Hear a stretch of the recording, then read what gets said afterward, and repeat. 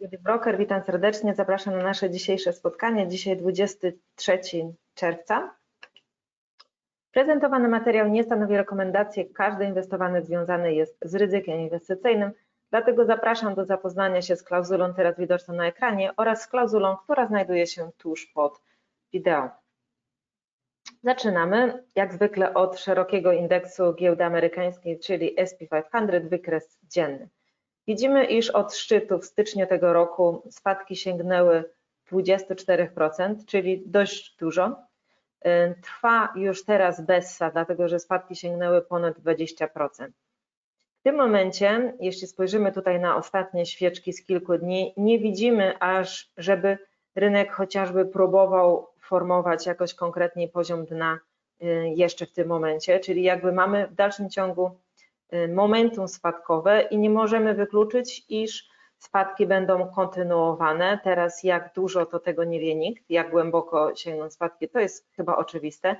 Natomiast warto się zastanowić, jak możemy wykorzystać y, ten czas, czy są okazje i jak to wszystko rozegrać. Czyli gdzieś tam, jeśli chodzi o szeroki rynek, ten momentum Y, na spadki w dalszym ciągu trwa i to należy mieć y, z tyłu głowy.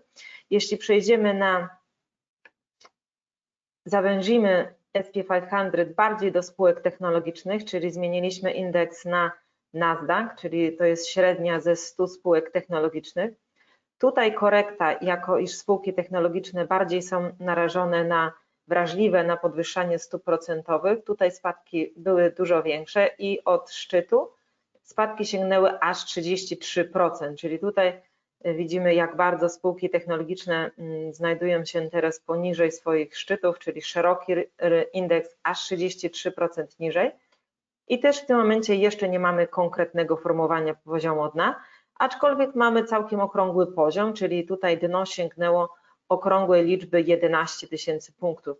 Bardzo często okrągłe poziomy stanowią naturalny poziom wsparcia, czyli zobaczymy, czy to będzie 11 tysięcy, czy zejdziemy niżej, będzie to 10 tysięcy, tak? Czas pokaże. Y, nie warto łapać spadających noży, tak jak mówi popularne mm, przysłowie giełdowe, czyli czekamy na jakieś konkretniejsze pojawienie się momentum wzrostowego, a tego jeszcze nie ma. Teraz jeszcze bardziej zawęzimy do innych spółek, jeszcze bardziej technologicznych, czyli tutaj posłużę się funduszem ARK Invest jako benchmarkiem, tak? Czyli tutaj SP500 jest indeksem, Nasdaq jest indeksem i jako iż nie mamy innego indeksu spółek wysokotechnologicznych, innowacyjnych, takim indeksem może być dla nas po prostu fundusz, jakim jest bardzo popularny na świecie ARK Invest. I tutaj jako iż te spółki są wysokotechnologiczne, spadki są tutaj przeogromne na skutek właśnie na początku zapowiadań podwyżek stóp procentowych, a później już realizację tych podwyżek. Spadki sięgnęły tutaj 77%, czyli widzimy jak oszałamiające są to spadki. E, natomiast ciekawostka, którą warto zawsze pamiętać na, na te czasy teraz, to jest to, iż SP500 i Nasdaq osiągnęły ostatnio nowe dno, nowy, tak, zeszły notowania jeszcze niżej na skutek ostatnich podwyżek stóp ogłoszonych przez Fed. Natomiast ARK Invest nie drgnął, tak? czyli nie osiągnął nowego poziomu dna, choć z reguły spadki były na tych funduszach, na tych akcjach dużo, dużo większe niż szeroki rynek. Czyli tutaj mamy swoistą ciekawostkę, wyhamowanie spadków na tych najbardziej wrażliwych akcjach, jeśli chodzi o podwyżkę stóp procentowych. Czyli mamy taką swoistą dywergencję y, pomiędzy tymi różnymi indeksami, benchmarkami. Natomiast widzimy też, y, jeśli mowa o dywergencji, RSI, tutaj także mamy y, lekko, lekko, lekko niższy, y, wyższy ten dołek i widzimy też to wyraźnie na RSI, niższy dołek, tak? Wyższy raczej, wyższy, wyższy, wyższy. Czyli to widzimy tutaj pewne zahamowanie, zobaczymy jak to będzie dalej rozegrane, ale gdzieś tam są pozytywne jaskółki, jeśli chodzi o te akcje wysokotechnologiczne. Okay? Czyli to były trzy indeksy szerokiego rynku. Jedziemy dalej, jeśli chodzi o to, żeby zobaczyć wskazówki co do tego szerokiego rynku, gdzie zmierzamy w najbliższych tygodniach, miesiącach, bo nie musi to być wszystko już i natychmiast. Czyli to, co ważne, obligacje, które tutaj benchmarkiem jest TLT, Ale zanim będziemy analizować wykres obligacji, przejdźmy na to, co jest czynnikiem, który wpływa na cenę obligacji, czyli jest to nic innego jak na TradingView. Mm, tutaj jest wykres amerykańskich, rentowności amerykańskich obligacji dziesięcioletnich. Niedawno pokazywałam, prezentowałam ten wykres, gdy on niebezpiecznie tutaj rósł y, do góry i tutaj faktycznie był dzień zgrozy, tydzień nawet, bo to jest wykres y, tygodniowy. Natomiast ten strach, ta panika została opanowana, czyli tutaj tydzień zamknął się na takim, mm, to nie jest pin, już zapomniałam jak ta świeca się nazywa, taka spadająca gwiazda można powiedzieć. Widzimy tutaj Y, iż rentowność podeszła dużo wyżej, natomiast tydzień zamknął się dużo niżej, czyli mamy taki wysoki, długi cień. Równocześnie mamy, jest, to wszystko wydarzyło się na poziomie oporu, czyli to był szczytowy poziom jesienią 2018 roku. Tak? Tutaj także stopy procentowe były bardzo wysoko. Rentowność amerykańskich obligacji była bardzo wysoko, czyli jest to naturalny poziom oporu i póki co on jest y, respektowany. Jeśli tak będzie dalej, to gdzieś tam sytuacja dla rentowności, co za tym idzie dla obligacji, a co za tym idzie dla giełdy, będzie opanowana. Także zobaczymy, jak to będzie rozegrane. Póki co jest ok, czyli widzimy tutaj ten wykres tygodniowy, ta świeca taka pozytywna, tak, respektująca opór, no i kolejny tydzień jeszcze bardziej widzimy jeszcze większe spadki, jeśli chodzi o rentowność amerykańskich obligacji, czyli pojawił się popyt na obligacje. Tak? Jeśli przejdziemy na wykres znowu na platformę DeVrocker, to widzimy TLT wyhamowuje swoje spadki, gdzieś tam powraca do wzrostów, a co jest bardzo ważne, to to, iż widzimy dywergencję na wskaźniku RSI na wykresie dziennym, czyli TLT jako takie notowało niższe dno, niższe dno, tak, widzimy tutaj bardzo wyraźnie, a RSI wyższe dno. Czyli jest to tak zwana dywergencja. Generalnie dywergencje funkcjonują tak, iż są pewną zapowiedzią, prawdopodobieństwem, wskaźnikiem, jakby to nie nazwać, który może zapowiadać wzrosty, tak? Jest to pozytywna dywergencja. Zobaczymy, jak to zostanie rozegrane. Jeśli rentowność w dalszym ciągu będzie się osłabiać, to TLT będzie się umacniać i jakby tutaj ta sytuacja, która paniki, którą ostatnio mieliśmy, będzie zażegnana. Kolejnym czynnikiem, który pozytywnie wpływa, będzie wpływać na inflację i generalnie na rynek, to jest nic innego jak ceny ropy. Czyli prezentowany kilkukrotnie przeze mnie klin wznoszący, który jest formacją prospadkową, został tak rozegrany mamy spadki i to nie małe, czyli od szczytu tutaj mamy spadek aż 15%, także jeśli ktoś to rozgrywał na kontrakcie CFD, to oszałamiające stopy zwrotu mógł osiągnąć. Natomiast co mamy teraz? To jest wykres dzienny, spadki zostały już zrealizowane, czyli ta formacja klina ładnie zadziałała, spadki zostały sprowadzone nigdzie indziej jak do naszego tutaj starego poziomu wsparcia, które tutaj było notowania były zatrzymane na tym poziomie wsparcia przez marzec, kwiecień, maj. To zaskutkowało odbiciem, ale gdzieś tam rachitycznym, bo to było odbicie jedynie, y, nic innego się nie wydarzyło niż to odbicie uformowało klin.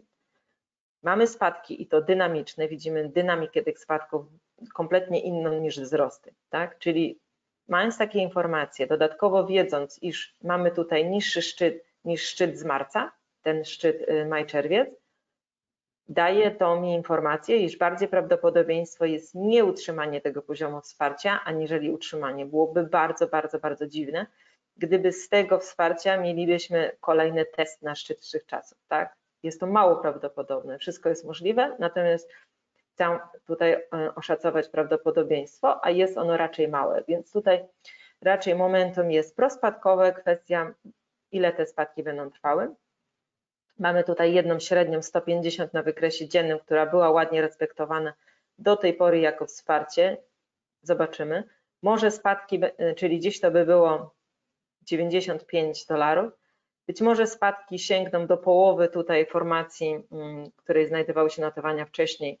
Może by to były gdzieś rejony 80, czy dolne ograniczenie 70 dolarów, tak? Jak będzie, zobaczymy każdym razie momentum spadkowe trwa, czyli jeśli ktoś chciałby y, zwiększyć swoją ekspozycję i w ogóle ją zdobyć y, długoterminowo, to ma, będzie miał i ma do tego doskonałą okazję w funduszach ETF, które inwestują w akcje, czyli chociażby funduszu jakim o tickerze OIH, które niedawno cieszyło się oszałamiającymi wzrostami, w tym momencie jest to korekta 24%, czy XOP, który także inwestuje w akcje z tego sektora i tutaj też są spadki bardzo dużo, a ma za sobą całkiem piękne wzrosty w ostatnich miesiącach.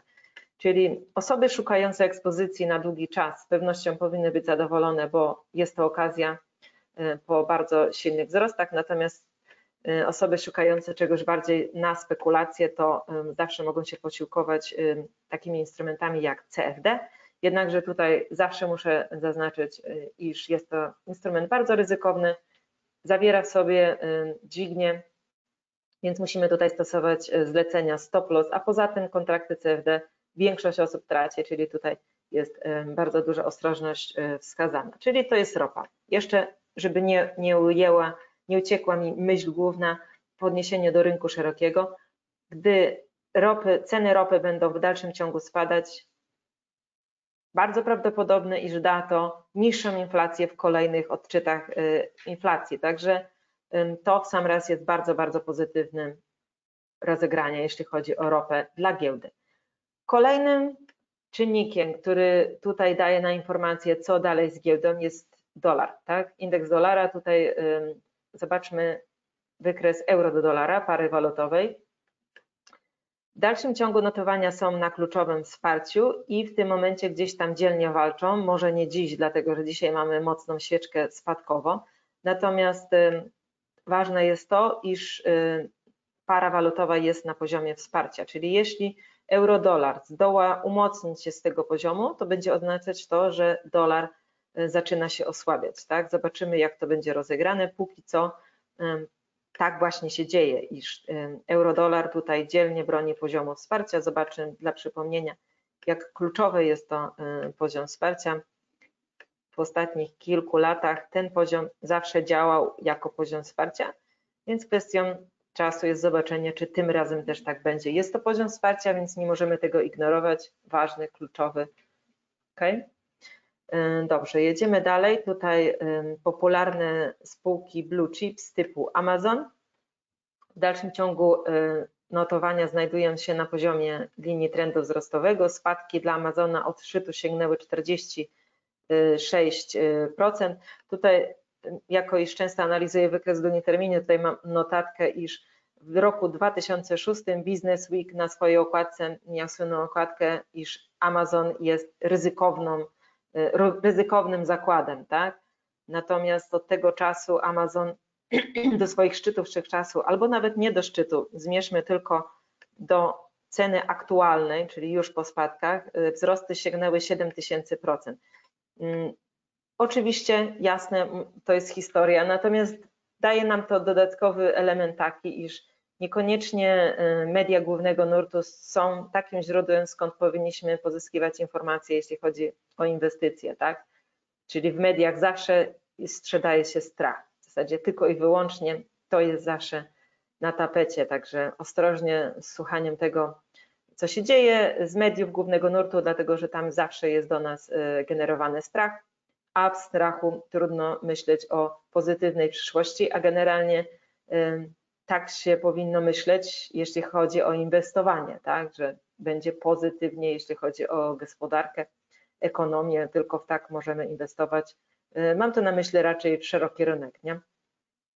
Czyli Amazon spadki 46% w tym momencie, w dalszym ciągu testuje swoją linię trendu wzrostowego. Apple w dalszym ciągu najdzielniej trzyma się z wszystkich akcji blue chips. Spadki sięgnęły tutaj jedynie 28%. Przełamuje już lekko tą linię trendu wzrostowego, ale w dalszym ciągu gdzieś tam, jeśli będzie gwałtowne odbicie, to będzie to historycznie uznane za obronienie tego poziomu e, wsparcia. Microsoft bardzo wyraźnie widzimy, iż linia trendu wzrostowego jest zachowana i broniona. Spadki sięgnęły tutaj 29%. Tesla też bez zmian w dalszym ciągu broni swojego y, tutaj poziomu wsparcia w tym klinie spadkowym. Spadki sięgnęły 50%, czyli niedawno Tesla znajdowali się chętni kupujący Tesla po 1200, teraz brak chętnych po 600, 700, także takie to właśnie są preferencje e, inwestorów, bardzo, bardzo zmienne i zależne od emocji, taka prawda. Nvidia. Nvidia w dalszym ciągu też broni linii trendu wzrostowego, czyli tutaj tak patrząc z punktu widzenia długoterminowego na te wszystkie nasze blue chipsy jest absolutnie bez zmian. No i coś, co też y, przykuwa uwagę wszystkich inwestorów y, i powinno jak najbardziej, to jest złoto. Czyli tutaj sytuacja dla złota troszkę się komplikuje moim zdaniem, dlatego że pojawiło się nie tak dawno y, momentum wzrostowe dla złota, natomiast złoto nie za bardzo wykorzystało te momentum. Tak? Zobaczmy, jak tutaj mamy silną świeczkę spadkową na wykresie dziennym dla złota, a poziom jest tutaj bardzo taki wrażliwy. Zamknęłam tutaj ostatnie notowania z maja, z czerwca w takim kwadracie, dlatego że znajdują się notowania w dość wąskim poziomie.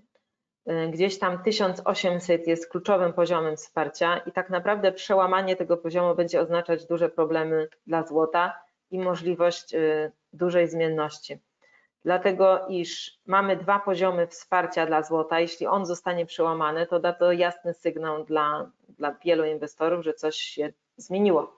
Czyli mamy z jednej strony linię trendu wzrostowego, z drugiej strony mamy wyjście z tego trójkąta z ostatnich dwóch lat, który też jest poziomem wsparcia. Jeśli ani to, ani to nie zadziała, to y, musimy być przygotowani na to, iż mogą być tutaj większe turbulencje, tak? Jeśli tak, a jeśli ktoś posiada y, inwestycje w złoto na długi termin i jest gdzieś tam, y, chciałby się troszkę zabezpieczyć typu hedge, można otworzyć pozycję short na parę walutową dolar do złota. I chociaż jeśli będzie naprawdę ewidentne, że coś zaczyna się dziać, można przez jakiś czas utrzymywać pozycję krótką i zarabiać na tych spadkach, tym samym hedżując naszą długoterminową pozycję na złocie. Jest to możliwość, tak? Ja tutaj pokazuję możliwość, iż coś takiego istnieje. Nie musimy patrzeć y, na spadki, posiadając inwestycje, nic nie robiąc. Nie każdy musi z niej korzystać. Natomiast warto znać taką możliwość, iż takie narzędzie jest i możemy coś zrobić, jeśli jesteśmy przed wykresami i widzimy, co się dzieje, iż staje się ewidentne, że momentum się zmieniło. Ono jeszcze się nie zmieniło. Y, być może tutaj pojawią się nagle kupujący i będziemy mieli fajne rozstrzygnięcie, natomiast tego jeszcze nie ma, tak? Tutaj wszystko się może wydarzyć, to jest wykres dzienny i brak tutaj jest pojawienia się popytu, tak? A ta świeczka dzienna nie nastraja optymistycznie. Zobaczymy. Zobaczymy, w każdym razie sytuacja jest bardzo napięta.